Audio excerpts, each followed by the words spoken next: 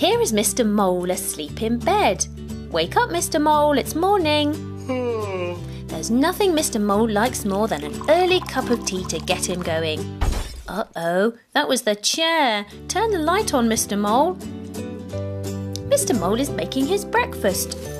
Oh dear, you've spilt the worm flakes. Uh oh, turn the light on, Mr. Mole. Time to clean your teeth now, I think.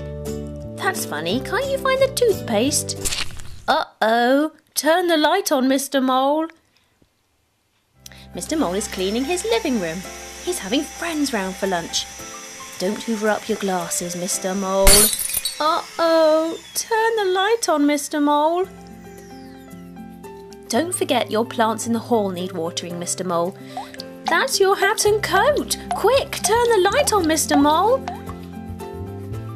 Here is Mr. Mole serving dinner to his friends. Be careful where you pour the custard, Mr. Mole. Uh oh. You'd better turn the lights up, Mr. Mole. Now Mr. Mole is going for a walk outside. He likes the fresh air, and isn't it bright? There's a tree and a bird. You can see the signpost and the footpath. Glance at the daisies and laugh at the frogs doing somersaults in the pond. Gaze at the cows grazing the grass and the lizard lapping up the sunshine. The dragonflies are dancing. Aren't they pretty wearing blue? What a lot of things to see. We all need the light to see things, Mr. Mole.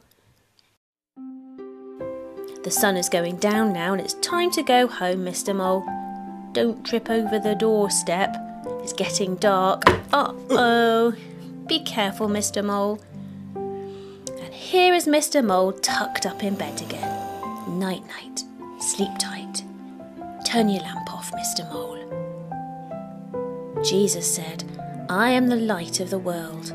Whoever follows me will never walk in darkness, but will have the light of life.